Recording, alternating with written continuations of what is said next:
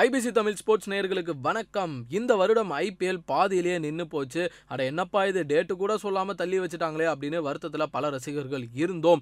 இப்போ நம்ம எல்லாரையும் விட பயங்கர கவலைப்படுறது யார் அப்படின்னு பார்த்தோன்னா நம்ம சௌரவ் கங்குலி அவர்கள் தான். ஏன்னா பிசிசிஐயுடைய தலைவராக இருக்கக்கூடிய இவர் இப்போ ரொம்பவே பதறி போய் ஒரு சில விஷயங்கள் சொல்கிறாரு அது கேட்கும்போது என்னது? ரெண்டாயிரத்தி ஐநூறு கோடி லாஸா? அப்படின்ற அளவுக்கு வாயை போலக்கிற லெவலில் தான் இந்த விஷயங்கள் எல்லாமே இருக்குது ஸோ இது என்ன அப்படின்றத டீட்டெயில்டாக இந்த வீடியோவில் பார்க்கலாம். இந்த வருடம் ஐபிஎல் இரண்டாயிரத்தி இருபத்தி ஒன்றில் இதுவரைக்கும் இருபத்தி ஒன்பது போட்டிகள் நடந்து முடிஞ்சிருக்குது.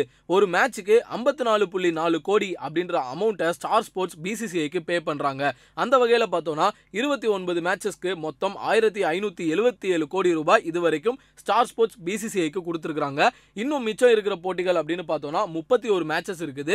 ஸோ அந்த மேட்ச்க்கான ரிமைனிங் அமௌண்ட் எவ்வளோ இருக்கும் அப்படின்னு பார்த்தோன்னா தௌசண்ட் செவன் ஹண்ட்ரட் க்ரோர்ஸ் வருது. ஸோ மீதமுள்ள முப்பத்தி ஒரு மேட்சஸுமே திட்டமிட்டபடி நடந்து முடிஞ்சா மட்டும்தான் ஸ்டார் ஸ்போர்ட்ஸ் ஆயிரத்தி எழுநூறு கோடியை பிசிசிஐக்கு பே பண்ணுவாங்க.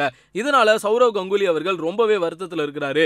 எப்படியாவது நாங்கள் ஐபிஎல்லை நடத்தியே காட்டுவோம் அப்படின்னு பிசிசிஐ ரொம்ப ஸ்ட்ராங்காக இருக்கிறாங்க. பட் டேட் தான் இன்னும் அனௌன்ஸ் பண்ணல. இது மட்டும் கிடையாதுங்க. இந்த வருடம் ஐபிஎல் மிச்சம் இருக்கக்கூடிய போட்டிகள் கேன்சல் ஆச்சு அப்படின்னு பார்த்தீங்கன்னா ஓவராலாக கிட்டத்தட்ட ரெண்டாயிரத்தி ஐநூறு கோடி ரூபாய் நஷ்டம் ஏற்படும் அப்படின்னு சௌரவ் கங்குலி பேசியிருக்கிறாரு. என்னப்பா சொல்றீங்க? ரெண்டாயிரத்தி ஐநூறு கோடிக்கு இன்னையா லாஸ் அப்படின்னு யோசிச்சிங்கன்னா டைட்டில் ஸ்பான்சர் விவோ இருக்கிறாங்கல்ல அவங்க கிட்ட இருந்து இன்னும் இருநூத்தி இருபத்தி ஐந்து கோடிகள் வந்து பிசிசிஐக்கு வரலையாம் பேமெண்ட் அது மட்டும் இல்லாமல் இந்த வருஷம் டோர்னமெண்ட்டுடைய அஃபீஷியல் பார்ட்னர்ஸான டாடா அன் அகாடமி மற்றும் ட்ரீம் லெவன் இவங்க மட்டுமே முந்நூறு கோடிகள் கிட்ட இன்னும் பேமெண்ட் பண்ணாமல் இருக்கிறாங்களா? ஸோ இது எல்லாமே மிகப்பெரிய அளவில் எங்களுக்கு வருத்தத்தை ஏற்படுத்துது அப்படின்னு சௌரவ் கங்குலி ரொம்பவே ஃபீல் பண்ணியிருக்கிறாரு.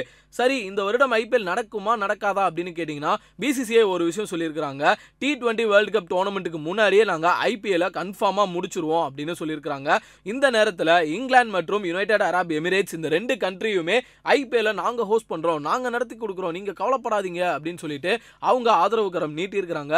பட் இப்போ இருக்கக்கூடிய உலகளாவிய இந்த பேண்டமிக் சுச்சுவேஷனில் ஐபிஎல் நடத்தப்படுமா படாதா அப்படின்றது தான் மிகப்பெரிய கேள்விக்குறியாக இருக்குது. ஐபிஎல்லை நீங்கள் எந்த அளவுக்கு மிஸ் பண்ணுறீங்க அப்படின்றத கமெண்ட் பாக்ஸில் பதிவு பண்ணிருங்க. மேலும் இது போன்ற ஸ்போர்ட்ஸ் குறித்த உடனடி அப்டேட்டுகளுக்கு ஐபிசி தமிழ் ஸ்போர்ட்ஸை சப்ஸ்கிரைப் பண்ணுங்க.